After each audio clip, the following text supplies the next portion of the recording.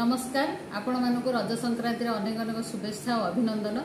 ଆପଣମାନେ ରଜରେ ତ ବହୁତ ପ୍ରକାର ପିଠାପଣା ବନେଇଥିବେ। ଆଜି ମୁଁ ଆପଣମାନଙ୍କ ପାଇଁ ରଜ ସ୍ପେଶାଲ ପାନ ନେଇକି ଆସିଛି। ପାନ ବିନା ରଜ ଅସମ୍ପୂର୍ଣ୍ଣ। ଆପଣମାନଙ୍କ ପାଇଁ ମୁଁ ସ୍ପେଶାଲ ପାନ ନେଇକି ଆସିଛି। ଚାଲନ୍ତୁ ପାନ ଖାଇବା ଦୋଳି ଝୁଲିବା ରଜ ମଉଜ କରିବା। ଏବେ ତାହେଲେ ପାନ ଖାଆନ୍ତୁ ତାପରେ ଯିବା ଦୋଳି ଝୁଲିବା।